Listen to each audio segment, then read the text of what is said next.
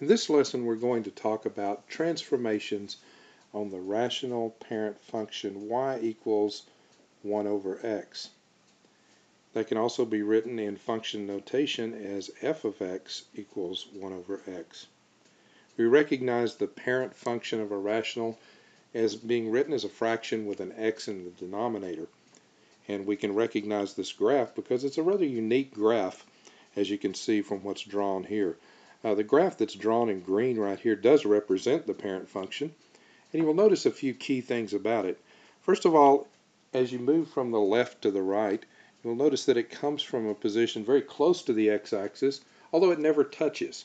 And if we were to go further to the left, we would discover it would just get closer and closer and closer to x, but never quite reach there. It approaches but never reaches. As it comes to the right, the first key point we see is right here at negative 1, negative 1. At this point, negative 1, negative 1, uh, it actually turns and goes downwards and begins to approach the y-axis, but again, never quite reaches the y-axis. Our function is actually undefined at x equals 0 because we can't do division by 0. Uh, that's why you don't see a value there. And then it begins again from infinitely close to the y-axis Uh, at the top, moving downward and to the right. And again, we see another key point at 0.11, where again it turns and begins to approach the x-axis, where again it never quite reaches, but approaches infinitely close. In this case, we would actually call the x and the y-axis our horizontal and vertical asymptotes. Horizontal and vertical asymptotes are places on the graph that the graph approaches but never reaches.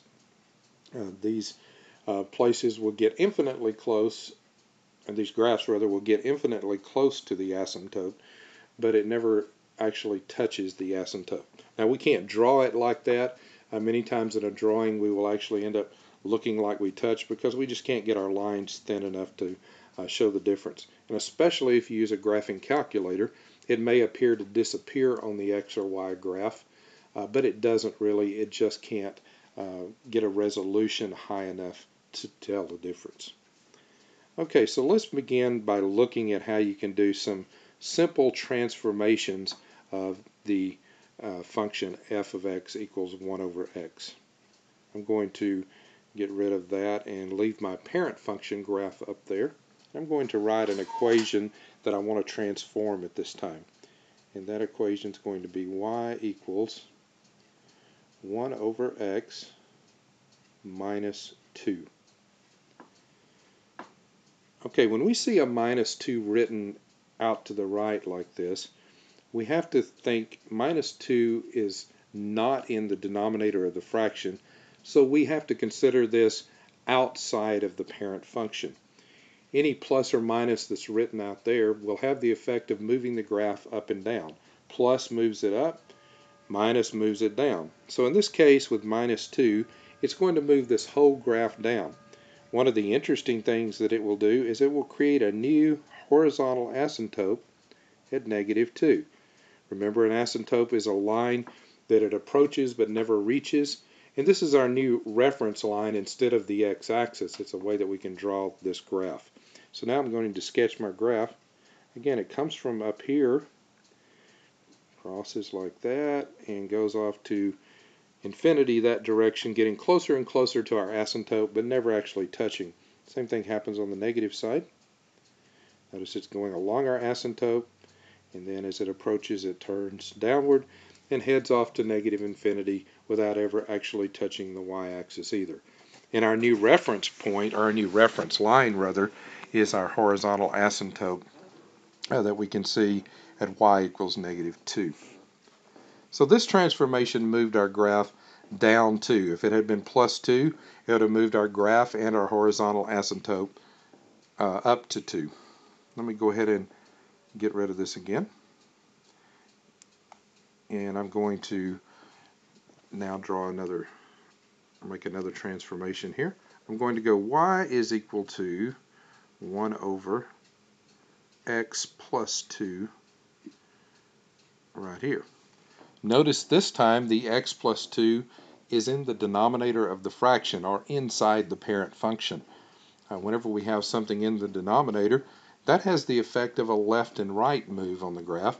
And it may seem a little counter to what we're used to, but plus 2 will actually move it to the left, and minus 2 would move it to the right.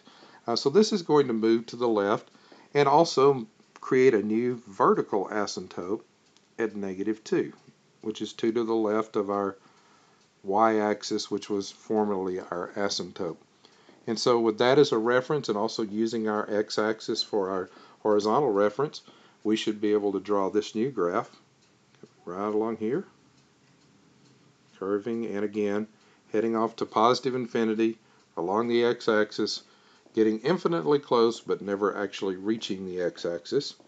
And then on the negative side, coming from negative infinity, approaching our vertical asymptote, and continuing off in a negative direction along the new vertical asymptote, uh, but never touching it.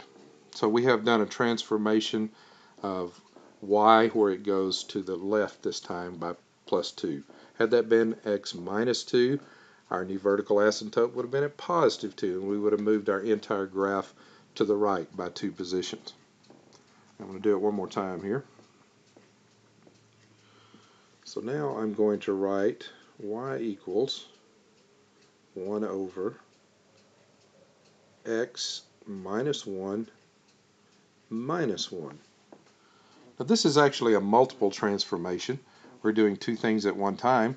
The minus 1 out to the right is going to move it down 1. The minus 1 underneath or in the denominator is going to have the effect of moving it to the right 1 and also creating new horizontal and vertical asymptotes this time. so I'm going to draw those in. The minus 1 moves down 1 and creates a new horizontal asymptote at negative 1. Didn't draw that very well, but I think you can tell. And the x minus 1 underneath, or in the denominator, is going to move to the right one. Remember, it's counter to what we're kind of used to. Negatives move right, and so it creates a new vertical asymptote at positive 1. And we use those as our references to be able to sketch our graph again like this. Notice it's the same graph, same curve uh, with the same steepness and the same thing over here except that they start in a different place. And something like that. So you get the idea here. We've moved it down. Well, my left one is just not a very good drawing. Let me do that one more time. It's a little better reference here, I guess.